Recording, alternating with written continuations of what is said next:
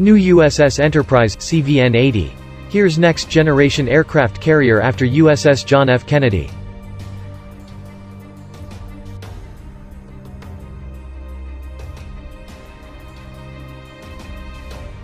It's been more than three years since the world's first nuclear-powered aircraft carrier was decommissioned, and even longer that the ship has been out of service, but the former USS Enterprise is still finding new ways to serve the Navy.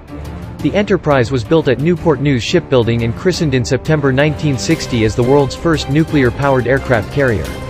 The ship provided a record 51 consecutive years of service to the Navy and completed its final deployment in 2012, just before being inactivated.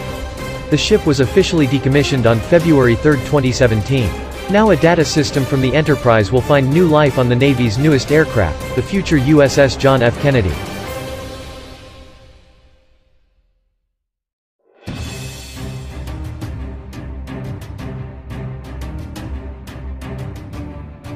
The AN USQ-167 Common Data Link System CDLS, was salvaged from the Enterprise and refurbished and updated by Naval Undersea Warfare Center Division, Keyport Detachment San Diego's Fleet Test and Evaluation Center.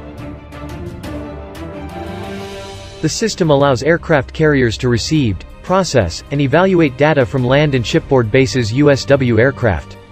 Live testing, consisting of both on-deck and in-flight operations, were successfully conducted, proving the next-generation Common Data Link System increased capabilities were operationally sound. This proven upgrade is now slated to be retrofitted on all U.S. aircraft carriers, explained Fleet Test and Evaluation Center engineering technician Dave McKay in a Navy release. The Navy says it saved about $1.8 million by not having to purchase a brand new unit. The system is expected to be installed on the Kennedy next year. It's not the first piece of the Enterprise to find new life on other aircraft carriers.